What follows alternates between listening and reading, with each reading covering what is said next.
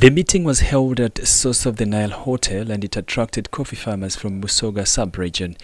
According to the State Minister for Agriculture, government is now looking to revive growing of coffee in the region, which for long has focused on sugarcane growing.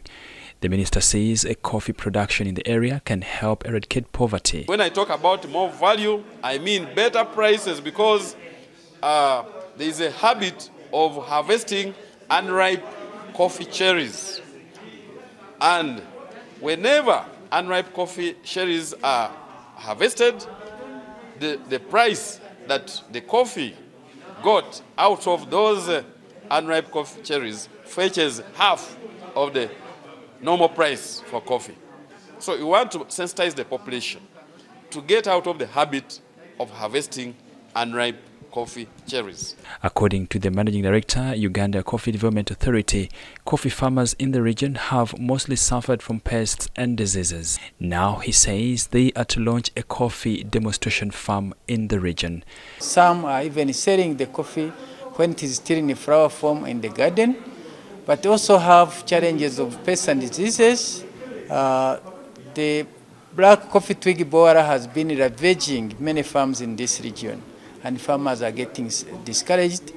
Uh, we are also having uh, challenges of the old coffee trees uh, belonging to old uh, farmers and therefore we want to focus on how we can revamp this area. The drive in Busoga to revive coffee growing is being spearheaded by religious and cultural leaders. Together with them, we can pursue the agenda that I've just explained.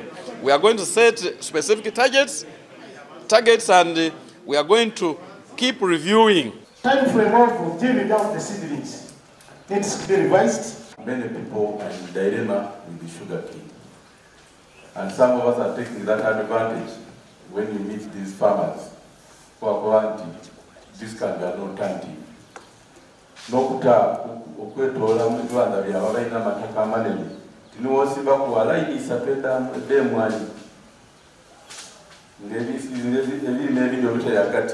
you earn money. So this information is really I minister needed. Is poverty.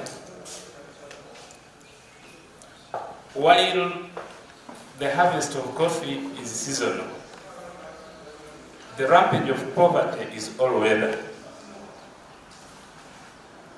It has left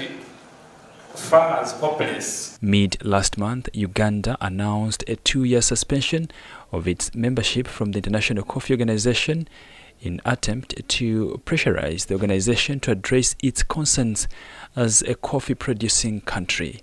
Uganda has been trading its coffee under the 2007 ICO agreement which stakeholders say does not favor farmers and other players. Story by Emmanuel Balukusa for the news.